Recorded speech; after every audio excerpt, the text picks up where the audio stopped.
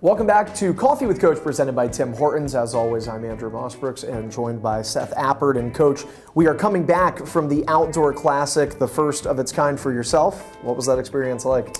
It was a great experience. Um, Charlotte did a fabulous job hosting it. Uh, the whole production, uh, everything about it, um, from a, from that side of things was excellent. Uh, the crowd, the energy of it, um, so it, it, was a cool experience. Obviously, I'd prefer to win, um, but with the exception of, of the third period, uh, it was a great experience. You're a coach, so you get to see your players, you see your staff, kind of monitor them. What did you think the experience meant for them? Looked like a lot of smiles from what we saw online. Yeah, they, they really soaked it in. Um, you know, the whole day, the, the pregame skate and the family skate and you know, uh, walking in in the baseball uniforms and just just all of it, right? And and, that, and it's important. You should soak it in. Um, so uh, the guys had a blast with it. Um, you know, it, it is interesting. It's had now coaching in it, like you know, it's hard to really. It's a hard game. Um, you know, the the ice conditions aren't great. Uh, the boards are different. Um, even seeing the lines on the ice was was hard in terms of what was offsides and what wasn't and things like that.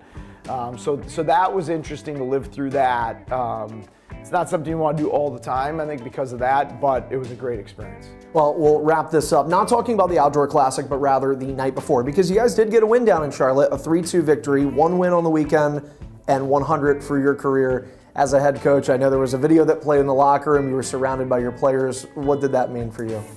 Yeah, I mean, I've never, I didn't, no idea, uh, quite frankly. I had no idea that, that, that it was 100 wins. Um, it's not something I think about. Uh, I don't coach uh, for individual accolades. So um, I appreciate the video that, that our staff, uh, front office staff had put together. Um, to, you know, to have Sammy, Fitzy, Quinter, guys like that, Bart, uh, you know, but, but those those guys early on, the Sammy Fitzy and Quinter, uh, um, that, that first year guys, like they were the guys that had to build our culture. Um, and obviously it's important that you have to fight to keep it, uh, but building it's hard.